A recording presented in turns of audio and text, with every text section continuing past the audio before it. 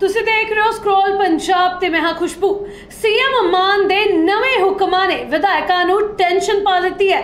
ਜੀ ਹਾਂ ਸੀਐਮ ਮਾਨ ਦੇ ਵੱਲੋਂ ਨਵੇਂ ਹੁਕਮ ਵਿਧਾਇਕਾਂ ਦੇ ਲਈ ਜਾਰੀ ਕੀਤੇ ਗਏ ਨੇ। ਜਿਸ ਤੋਂ ਬਾਅਦ ਸਾਰੇ ਵਿਧਾਇਕਾਂ ਦੀ ਹੁਣ ਟੈਨਸ਼ਨ ਵੱਧ ਗਈ ਹੈ। ਦਰਅਸਲ ਸੀਐਮ ਮਾਨ ਦੇ ਵੱਲੋਂ ਇੱਕ ਚਿੱਠੀ ਜਾਰੀ ਕੀਤੀ ਗਈ ਹੈ ਜਿਸ ਦੇ ਵਿੱਚ ਵਿਧਾਇਕਾਂ ਲਈ ਨਵਾਂ ਫਰਮਾਨ ਸੁਣਾ ਦਿੱਤਾ ਗਿਆ। ਇਹ ਫਰਮਾਨ ਹੈ ਕਿ ਜੋ। ਸੁਰੱਖਿਆ ਗੱਡੀਆਂ ਵਿਧਾਇਕਾਂ ਦੇ ਵੱਲੋਂ ਵਰਤੀਆਂ ਜਾਂਦੀਆਂ ਖੇਤੀ ਨਾਲ ਸੰਬੰਧਿਤ ਉਸਦਾ ਇੱਕ ਬਹੁਤ ਖਰਚਾ ਕਿੰਨਾ ਹੋ ਰਿਹਾ ਹੈ? ਤੇਲ ਦਾ ਨੇ ਕਿੰਨਾ। ਖਰਚਾ ਹੋ ਰਿਹਾ ਕਿੰਨਾ ਮੁਰੰਮਤ ਤੇ ਲੱਗ ਰਿਹਾ ਉਸ ਦਾ ਸਾਰਾ ਹਿਸਾਬ ਦੇਣਾ ਪਵੇਗਾ। ਇਹ ਚਿੱਠੀ ਜਾਰੀ ਕੀਤੀ ਗਈ ਹੈ ਜਿਸ ਦੇ ਵਿੱਚ ਸੀਐਮ ਮਾਨ ਦੇ ਵੱਲੋਂ ਹਿਸਾਬ ਦੇਣ ਦੀ ਗੱਲ ਕੀਤੀ ਗਈ ਹੈ। ਦੱਸ ਦੇ ਕਿ ਸੀਐਮ ਮਾਨ ਨੇ ਚਿੱਠੀ ਜਾਰੀ 55 ਦਿਨਾਂ ਦੇ ਵਿੱਚ ਉਹ ਕਰਕੇ ਹਿਸਾਬ। ਮੰਗਿਆ ਸੁਰੱਖਿਆ ਗੱਡੀਆਂ ਦੇ ਵਿੱਚ ਖਰਚਾ, ਤੇਲ ਤੇ ਮੁਰੰਮਤ ਸਣੇ ਜੋ ਵੀ ਹੋਰ ਖਰਚਾ ਕੀਤਾ ਜਾਂਦਾ ਹੈ ਉਸ ਦਾ ਸਾਰਾ ਹੁਣ ਹਿਸਾਬ ਪੰਜਾਬ ਦੇ ਵਿਧਾਇਕਾਂ ਨੂੰ ਦੇਣਾ ਪਵੇਗਾ।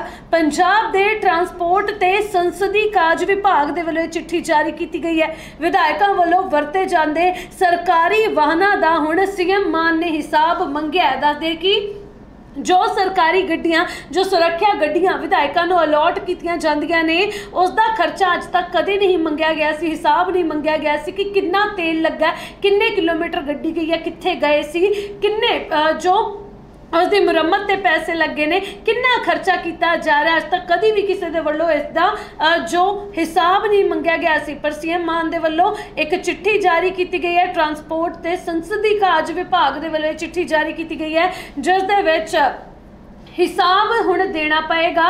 ਚਿੱਠੀ ਦੇ ਵਿੱਚ ਸਾਫ਼ ਲਿਖਿਆ ਗਿਆ ਕਿ ਹੁਣ ਹਿਸਾਬ ਦੇਣਾ ਪਏਗਾ। ਜੋ ਵੀ ਖਰਚਾ ਕੀਤਾ ਜਾਂਦਾ ਸਰਕਾਰੀ ਵਾਹਨਾਂ ਤੇ ਜੋ ਵੀ ਖਰਚੇ ਹੋ ਰਹੇ ਨੇ, ਵਿਧਾਇਕਾਂ ਦੇ ਵੱਲੋਂ ਕਿੰਨੀ ਮੁਰੰਮਤ ਤੇ ਕਿੰਨੇ ਖਰਚੇ ਹੋ ਰਹੇ ਨੇ, ਉਹ ਗੱਡੀਆਂ ਕਿੱਥੇ ਜਾ ਰਹੀਆਂ ਨੇ, ਜੋ ਸੁਰੱਖਿਆ ਗੱਡੀਆਂ ਵਰਤੀਆਂ ਜਾਂਦੀਆਂ ਨੇ, ਉਹ ਕਿੱਥੇ ਜਾ ਰਹੀਆਂ ਨੇ, ਉਹਨਾਂ ਸਾਰਿਆਂ ਦਾ ਹਿਸਾਬ ਹੁਣ ਦੇਣਾ ਪਏਗਾ ਤੇ ਜਿਸ ਤੋਂ ਬਾਅਦ ਹੁਣ ਵਿਧਾਇਕਾਂ ਨੂੰ ਟੈਨਸ਼ਨ ਪੈ ਗਈ ਹੈ। ਦੱਸਦੀ ਕਿ ਪੰਜਾਬ ਦੇ ਜੋ ਵਿਧਾਇਕ ਨੇ, ਅੱਜ ਤੱਕ ਪਹਿਲਾਂ ਕਦੀ ਵੀ ਅਜਿਹਾ ਉਹਨਾਂ ਨੂੰ ਨਹੀਂ ਕਿਹਾ ਗਿਆ। ਅੱਜ ਤੱਕ ਕਦੀ ਵੀ ਹਿਸਾਬ ਨਹੀਂ ਮੰਗਿਆ ਗਿਆ ਸੀ ਕਿ ਕਿੱਥੇ ਜਾਇਆ ਜਾ ਰਿਹਾ ਕਿੰਨੇ ਕਿਲੋਮੀਟਰ ਗੱਡੀ ਚੱਲੀ ਹੈ, ਤੇਲ ਕਿੰਨਾ ਲੱਗ ਰਿਹਾ ਤਾਂ ਹੁਣ ਜਦੋਂ ਅਜਿਹਾ ਕੀਤਾ ਜਾ ਰਿਹਾ ਤਾਂ ਵਿਧਾਇਕਾਂ ਨੂੰ ਮੁਸ਼ਕਲ ਜੋ ਹੈ, ਖੜੀ ਹੋ ਸਕਦੀ ਹੈ। ਕਿਉਂਕਿ ਸਰਕਾਰੀ ਗੱਡੀਆਂ ਜੋ ਦਿੱਤੀਆਂ ਜਾਂਦੀਆਂ ਨੇ ਕਈ ਵਾਰ ਦੇਖਿਆ ਜਾਂਦਾ ਕਿ ਅਜਿਹੇ ਜੋ ਅਫਸਰ ਨੇ, ਮੰਤਰੀ ਨੇ, ਇਹਨਾਂ ਦੇ ਪਰਿਵਾਰਕ ਮੈਂਬਰਾਂ ਦੇ ਵੱਲੋਂ ਵਰਤੀਆਂ ਜਾਂਦੀਆਂ ਨੇ। ਬੱਚੇ ਸਰਕਾਰੀ ਗੱਡੀ ਲੈ ਕੇ ਬਾਹਰ ਚਲੇ ਜਾਂਦੇ ਨੇ ਤਾਂ ਜਿਨ੍ਹਾਂ ਗੱਡੀਆਂ ਤੇ ਲਾਲ ਬੱਤੀ ਲੱਗੀ ਹੁੰਦੀ ਹੈ ਉਹਨਾਂ ਦੀ ਵਰਤੋਂ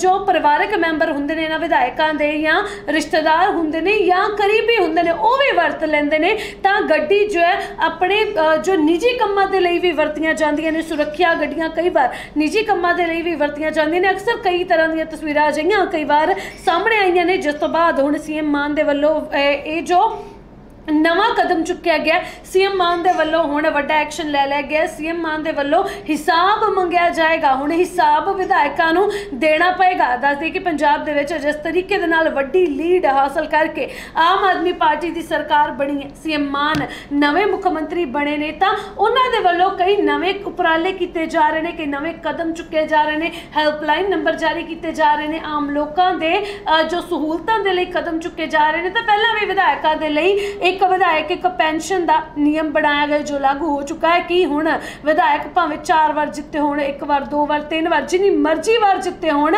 ਪੈਨਸ਼ਨ ਸਿਰਫ ਇੱਕ ਹੀ ਮਿਲੇਗੀ। ਇੱਕ ਵਿਧਾਇਕ, ਇੱਕ ਪੈਨਸ਼ਨ ਦਾ ਰੂਲ ਕੱਢਿਆ ਗਿਆ ਤੇ ਨਾਲ ਦੀ ਨਾਲ ਇਹ ਵੀ ਖਬਰ ਸਾਹਮਣੇ ਆ ਰਹੀ ਹੈ ਕਿ ਹੁਣ ਵਿਧਾਇਕਾਂ ਨੂੰ ਆਪਣਾ ਇਨਕਮ ਟੈਕਸ ਵੀ ਆਪ ਦੇਣਾ ਪਏਗਾ, ਜੋ ਸਰਕਾਰ ਪਹਿਲਾਂ ਵਿਧਾਇਕਾਂ ਦਾ ਇਨਕਮ ਟੈਕਸ ਭਰਦੀ ਸੀ, ਆਮਦਨ ਟੈਕਸ ਭਰਿਆ ਜਾਂਦਾ ਸੀ, ਉਹ ਹੁਣ ਟੈਕਸ ਵੀ ਵਿਧਾਇਕ ਆਪ ਭਰਨਗੇ ਤੇ ਨਾਲ ਦੀ ਨਾਲ ਜੋ ਵਿਧਾਇਕ ਨੇ ਹੁਣ ਇਹ ਨਵਾਂ ਜੋ ਫਰਮਾਨ ਵਿਧਾਇਕਾਂ ਦੇ ਲਈ ਜਾਰੀ ਕਰ ਦਿੱਤਾ ਗਿਆ ਕਿ ਸਰਕਾਰੀ ਗੱਡੀਆਂ, ਜੋ ਸੁਰੱਖਿਆ ਗੱਡੀਆਂ ਵਿਧਾਇਕਾਂ ਨੂੰ ਅਲਾਟ ਕੀਤੀਆਂ ਜਾਂਦੀਆਂ ਨੇ, ਦਿੱਤੀਆਂ ਜਾਂਦੀਆਂ ਨੇ, ਉਸ ਤੇ ਤੇਲ ਦਾ ਕਿੰਨਾ ਖਰਚ ਆ ਰਿਹਾ ਹੈ, ਉਸ ਦੀ ਮੁਰੰਮਤ ਦਾ ਕਿੰਨਾ ਖਰਚ ਆ ਰਿਹਾ ਹੈ ਤੇ ਹੋਰ ਜੋ ਪੂਰਾ ਜੋ ਖਰਚਾ ਉਹਨਾਂ ਗੱਡੀਆਂ ਤੇ ਕਿੰਨੇ ਦਾ ਆ ਰਿਹਾ ਉਸ ਦਾ ਹਿਸਾਬ ਦੇਣਾ ਪਏਗਾ। ਸਰਕਾਰੀ ਜੋ ਟਰਾਂਸਪੋਰਟ ਤੇ ਜੋ ਟਰਾਂਸਪੋਰਟ ਵਿਭਾਗ ਦੇ ਵੱਲੋਂ ਚਿੱਠੀ ਜਾ- ਜਾਰੀ ਕੀਤੀ ਗਈ ਹੈ, ਜਿਸ ਦੇ ਵਿੱਚ ਇਹ ਸਾਫ਼ ਲਿਖਿਆ ਗਿਆ ਕਿ ਹੁਣ ਤੇਲ ਕਿੰਨਾ ਲੱਗ ਰਿਹਾ ਗੱਡੀ ਦੇ ਵਿੱਚ, ਕਿੰਨਾ ਖਰਚਾ ਹੋ ਰਿਹਾ, ਮੁਰੰਮਤ ਤੇ ਕਿੰਨਾ ਖਰਚਾ ਹੋ ਰਿਹਾ ਉਸ ਦਾ ਸਾਰਾ ਦਾ ਸਾਰਾ ਬਿਊਰਾ ਦੇਣਾ ਪਏਗਾ, ਹਿਸਾਬ ਦੇਣਾ ਪਏਗਾ।